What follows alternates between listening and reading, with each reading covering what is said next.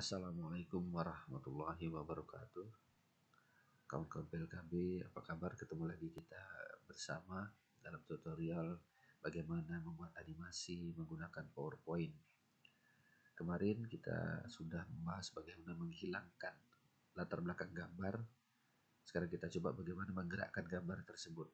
Ya, kemarin kita menghilangkan latar belakang mobil, gambar bisa. Sekarang kita coba menggerakkan. Bagaimana caranya? Seperti ini ya seperti biasa kita di PowerPoint ini. Background ya background sudah kita coba siapkan seperti ini. Kita sudah siapkan sebelumnya mempercepat uh, tutorial ini. Kemudian mobil nanti kita mau coba gerakkan. Dia akan bergerak dari kanan ke kiri. Bagaimana caranya? Ya, kita copy dulu agar mudah. Kita copy mobil ini kita copy. Kemudian kita pastikan di slide yang baru ini. Nah, lalu biar dia bisa bergerak kita klik animasi. Animasi kita pilih yang di bawah sini ada ini ya. Ini di sini ada more motion part ya kita pilih itu. Kita pilih yang down ini. Ini banyak gerakan tapi kita pilih ini. Ya oke. Okay. gerakannya ke bawah kita pindahkan. Kita pindah ke arah left ke kiri. Seperti itu. Nah, untuk eh, mengatur panjangnya eh, perjalanannya kita klik di panah tadi. Dia ada titik merah ya kita atur supaya dia nanti keluar sampai ke arah luar. Uh, slide kita kemudian yang hijau adalah titik mulainya kita juga tarik keluar. Klik ya tadi titik hijaunya diklik tarik keluar. Karena kita sesuai selera sih sebenarnya. Kalau kita coba. Ini ada kecepatan dua detik dalam dua detik. Ya seperti ini kita lihat. Sudah bisa.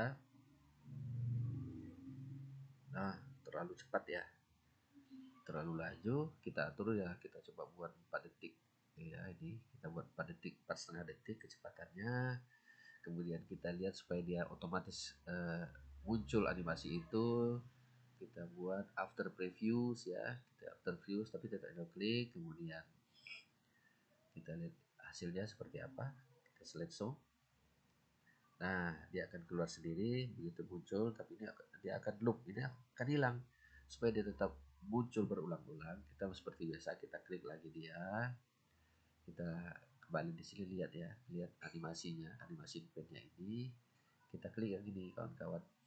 Ini klik. Kita pilih efek uh, timing.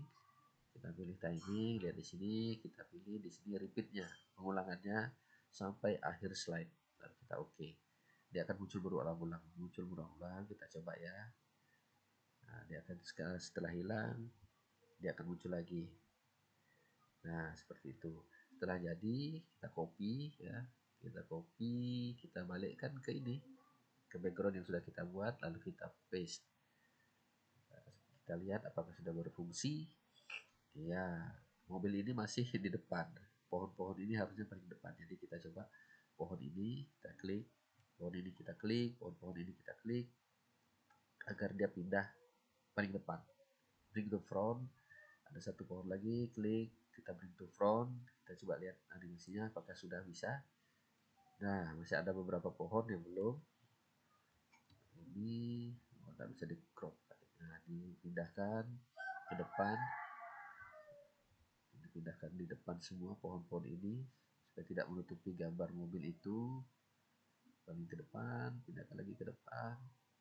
Ya kita lihat apakah sudah berhasil Alhamdulillah sudah berhasil kawan-kawan Demikianlah animasi sederhana untuk melihat pergerakan gambar atau objek yang ada di layar. Jangan lupa di saving. Alhamdulillah semoga bermanfaat. Kita ketemu lagi dalam tutorial berikutnya. Assalamualaikum warahmatullahi wabarakatuh.